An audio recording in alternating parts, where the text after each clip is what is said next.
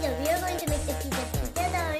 It's done tonight. You see that it's a pizza and that's it. Left the cookies for pineapple and maple.